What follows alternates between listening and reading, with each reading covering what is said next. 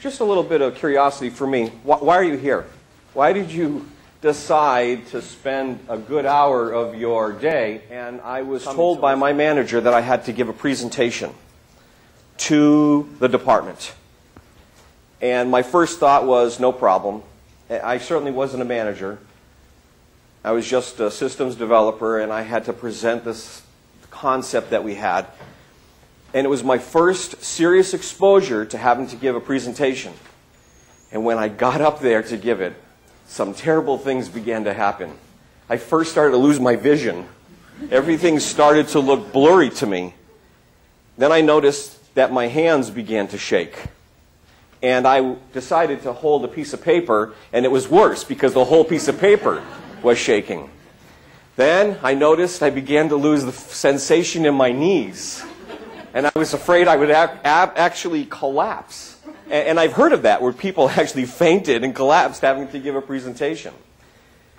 So my first exposure made me realize there's a problem here. I've got to figure out what I can do because I knew in my job I would eventually have to give more presentations.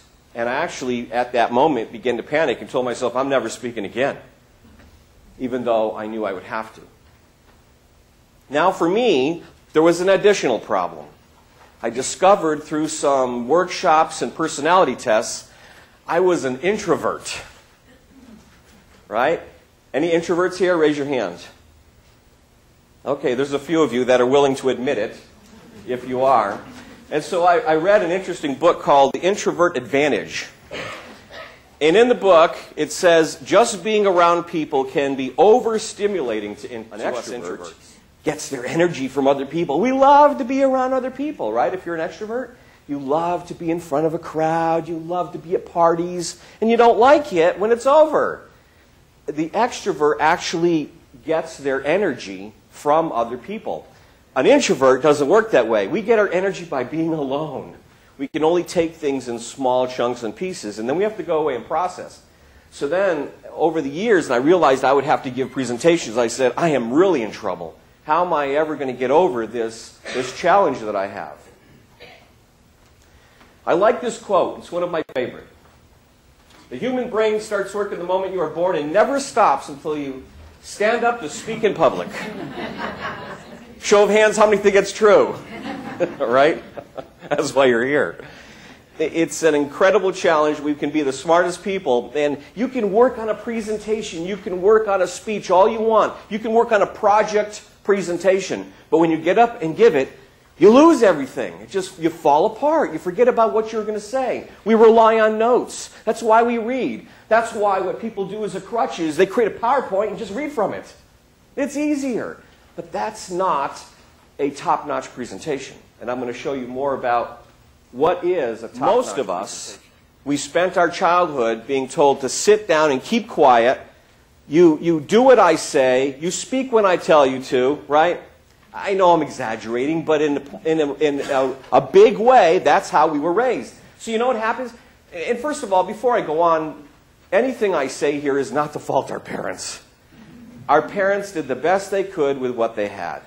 They did the best they could with what they knew at the time. All right, so let's get that out of the way. So our parents bludgeoned us into behaving, into sitting down and not speaking uh, until we're told to speak. How about the old style methodology or the old theory about children should be seen and not heard? Okay? The problem is, we took that into our adult life. And most of us today are still wait, walking around waiting to be told what to do, waiting to speak when we're told to speak up. And we've not learned how to shed that. They would stand in one spot at the front of the room. They almost had their back arched, like, I don't want to take up much space. They would talk quietly. They would rarely go over the rules and develop consequences. They would say things like, Is it okay? Could we please open your books to page 32? asking students permission. What, what was required in, in what we propose that, that instructors need to learn how to take back the classroom, learn how to take up space, how to move around and talk so that the students could actually hear and to take charge of the front of the room. And you know, that's no different than what I'm telling you here. What some of the things you're going to learn. When you're the presenter, be the presenter. Get in the front of the room and take up space. Take charge. Let your audience know that you are the presenter. Whether you're doing a 10 minute project update in a department meeting or you're doing a full presentation, take charge. There's no secret to that except you've got to shed the feeling of, I'm going to wait until someone tells You're all judging me right now. You're looking at me. You're listening to me. And so we know that because we're an audience often, right? We sit in the audience and go, I can't believe she wore that today. Oh my gosh, I can't believe that. What a, what a dumb PowerPoint. You know, we judge oftentimes. We don't mean to, but we do. We're actually comparing what we see, comparing it to what we would do. That's what we do. We're human beings. We're weird creatures. So you know that you've, you've taken the time to sit in an audience and judge. So when you get up there, you know you're being judged. So it almost it's intimidating. And the other one is speaking and thinking is actually actually a juggling act. It is. It's taking a thought, processing it, and delivering it through your speech. And it's feeling inspired, thoroughly informed, or motivated to take action. How you do it is up to you. We all have our own styles, we have our own abilities and skills. However, you can achieve that, it's up to you. So, here are some reasons why I believe we need to have top notch presentation skills. One is to feel comfortable speaking because whether you like it or not, you're going to have to do it. We are human creatures and we communicate verbally. One of the many ways we communicate is verbally. You're going to have to do it. And I'm not talking about being a professional speaker. I'm talking about picking up your telephone, answering questions when your boss walks into your office. Somebody stops you in the hall, you have to communicate. And you know what? That's when you actually project who you are, the way you communicate, the way you speak. Another one is the desire to be believable. I want, to, I want folks to know that when I talk to them, I am sincere, I am real. What I have to talk about is important, and that requires the ability to be believable. Also, the development of confidence. You know, once you learn to get up in front of your peers and speak, and you start developing the, the confidence to do it and go, hey, I can do this stuff. This is cool. This is cool. I'm learning this. I'm getting over it. It's actually a gift. You now take that confidence anywhere you go in your job, in your personal relationships, in, in the things, the projects you work on, that confidence goes with you when you learn to master being able to speak in front of others. And finally, avoid wasting time. I don't want to waste my time or yours. You, have given me one hour and energy to develop presentation skills, even if I never spoke in front of a group. I'd rather be prepared and never have an opportunity than to have an opportunity and not be prepared. Lack of presentation skills, if you don't know what to do, if you're not sure how to present, and that's why you're here to learn some presentation skills. And finally, if, you, if you're a disorganized person, if you have the habits of disorganization, it's going to be difficult for you to get up and speak in front of a group. I've broken this thing down into three areas, three specific areas. The first one is visual, what people see when you're talking. First one is your stance and your movement. Notice I talked about Caitlin's stance before, to stand firmly on both feet. The things that I don't like to see is when a speaker is like balancing on one foot. You ever seen that? They're balancing on one foot, they're standing like this, and they're fidgeting around. I went to a presentation the other day, and there was a female speaker, and she had heels on, and she took a heel off, and she's rubbing her, her, her nylon toe on the floor what do you think I was looking at and paying attention to when she was doing that? Her foot. There, the chances are good that whatever she was talking about when she's playing with her toes, I've missed. Why? Because it creates a distraction. A lot of the things I'm going to show you here today are all about how to not create a distraction so that they truly listen to what you have to say. Movement should be gradual and across the whole room. This lady here, this gentleman are part of my presentation, just as the folks on that side of the room. So my challenge as a speaker is to work the room, to move back and forth as much as I can because I want everyone to feel engaged in a part of my presentation. That requires gradual, non-distracting movement. Now, men usually tend to put their hands in their pockets, right? Because they're there. These appendages are really strange. We don't know what to do with them when we're feeling nervous and we're speaking. women oftentimes put them behind their back and do what's called the reverse fig leaf. You ever see, some people do the fig leaf, right? And if you do this, it creates a distraction. The other day I went to a presentation and the, and the speaker was doing the peeking fig leaf. right? And, and it, I almost thought, I almost thought I was going to go. Yeah. You know, it just it creates a distraction. I, I am being silly, but I'm being silly. But the point is, it creates a distraction. You don't want to do things that are going to draw people's attention to what you're doing, and your hands is one of the things that can probably do that.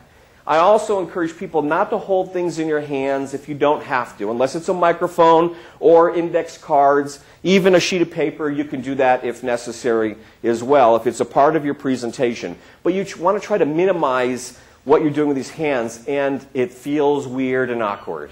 The best thing to do is leave them right at your sides. Use them in your presentation. So the only thing that I'm holding here is the control for the PowerPoint, which I have to hold. So I'm trying to use my hands in my presentation. That's what you want to do. When you make a point, use your hands and your movement I'm into, but I'm thinking right now. And I'll have the next thought in just a moment. So hang on. Don't, don't talk over me. It's also a way to stall as we get the next to thought. use quotes in your presentation. Tell your audience who said it. If you, if you truly don't know, Go find out if you can. I know there's a lot of anonymous quotes out there on the internet, but do your homework. You'll look like a more credible speaker if you use a quote and say where it came from. Like I did when, in the beginning of the presentation, right, with George Jessel's quote. Use qualification. The second one, if you use cartoons, I know it's done all over the place I don't think it's really against the law, but it is considered unprofessional plagiarism to take, take a comic, a comic, put it in your PowerPoint, and not get permission to use it. I work with parents and teaching them discipline. I specialize with inner city families. It's one of my passions. It's what I talk about. And so I use a lot of parent training. I, I speak to professionals in the education field, and I have comics. But what I always do is I go to the artist the writer or the publisher to get official permission, uh, written permission that I can put in my file to show. And when I have it on my PowerPoint, it says in small letters, reprinted with permission from the author. Or I even state exactly who the person is or where it came from. So that's a, a, a suggestion. Music creates atmosphere. Did you notice when you walked in was, was music playing? Okay, I want to create atmosphere. I want to create excitement. I want to create ambiance. I want to create an atmosphere that says you're about to learn something great. You're about to sit through a, an exciting presentation. The next one, number four, is engage your audience. Find ways to actually engage them through questions, through exercises. You're engaged right now with filling out the outlines, correct? I engage you by looking for volunteers. A presentation is a partnership between an audience and a speaker. And the better speakers use that and develop it. And the last one, Start and stop on time. If you go to a presentation and the speaker is supposed to speak for 15 minutes and they're now speaking for 25, where's your attention? On the clock. You're also now thinking, oh my gosh, is the other speaker going uh, following this person going to lose 10 minutes? Or is this thing uh, worse? Is this going to run over? Am I going to miss my next meeting? Am I going to be late for lunch? Right? How about when you go to church and the pastor's over his hour? You're thinking about the football game on TV, dinner's in the oven, guests are arriving. The whole point is, as soon as your speaker goes over time, you're checking out. Your audience is checking out. And the funny thing is, the speaker stays up there and speaks. They think everyone wants to hear what they have to say. Because again, we get locked into our head. We get locked into our body, and it's hard for us to break out to pay attention to other things. Oh, I'm sorry, I forgot to bring the handout. Well, if you didn't tell us, we wouldn't know. Right? It's what I call showing your underwear. Don't show your underwear. Don't show things to people they don't need to know. So don't apologize. If you didn't, if you didn't bring the handout, if you didn't bring a prop, go without it. No one will ever know. It's your secret. Okay, so I'm always asked about PowerPoints. People say, okay, great, yeah, that's presentations. But I want to know about PowerPoints. I, the first thing I always tell people is the tools selected for a presentation are less important than the presenter being confident, organized, ready, and skilled. But a lot of some people disagree with me. You know why? Because they use PowerPoint as a crutch. If I have a big flashy PowerPoint, then I don't have to worry about my presentation skills. It still shows. We know it still shows. So anyway, here are 10 tips that you can use with PowerPoint. Number one, talk to the audience, not the screen. When you're going to speak to the audience, try to face them as often as possible. Now, you will find you'll have to turn around and face the screen as you're reading bullets or points, but turn back around and address your audience. Number two, slides should be a supplemental. Okay? They should be your supplemental part of your presentation, not your main presentation. If you show up and it's your first moment using equipment and something fails, you're going to look like an inexperienced, disorganized, unprepared presenter. So show up ahead of time and practice with it. Because, again, you don't want to show them your underwear. Don't show them that you don't know how to use the equipment. The next one is save complex diagrams for the handouts. Don't put these giant complex maps on the screen and expect people to see them. If you're just putting them there for show and tell, then put it on paper so they can take it with them. Don't remember anything else I've told you here today. These are three very important points. Know your material. Find ways to develop your skills. And finally, practice, practice, practice. Practice your talk, if even if it's two minute in a project status update. Again, when you get up in front of a group, whether your boss is there or not, it says a lot about you. If you use care and powerful presentation skills in your presentation, it says that you care about your material, you care about your work, you care about your project, you care. And the only way you're going to get that is by practicing as much as possible. What I usually do is gather some friends together and say, How about can I get something on the Outlook calendar, 30 minutes, and I want to do my talk in front of you? And I pretend that they are going to be my audience, and I practice my talk. And then when I'm all done, I say, Okay, let me have it. What did you like, and what should I work on for next time? And I get look that and I find people who have something I want, and then I spend a lot of time with them as much as I can. A mentor is something you do on your own. You find someone who's a great speaker, you want to be like them, and say, Can I take you to lunch? Can I buy you a coffee?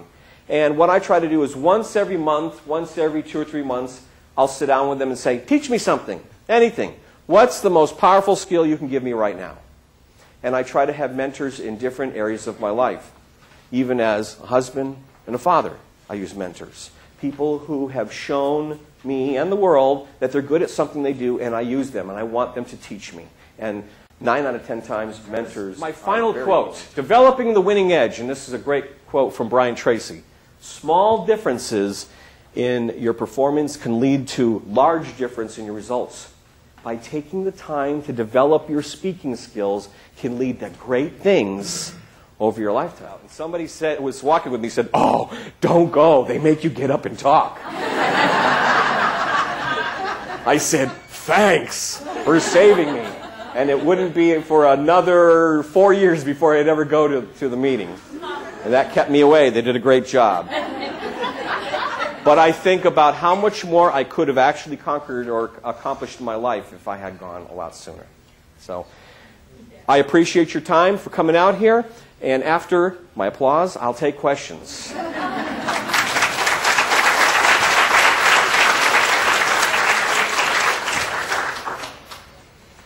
Any questions?